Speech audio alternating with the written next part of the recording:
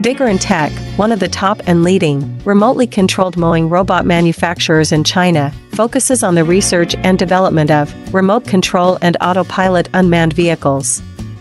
Remote control lawn mower is our current main product, widely used in lawn mowing and weed cutting, suitable for orchard, steep incline, front yard, wasteland, wildfire prevention, landscaping use, and so on.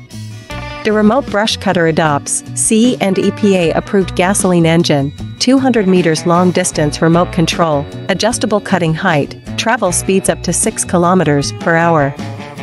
Based on the in-depth understanding of our own products, we can provide the best after-sales service.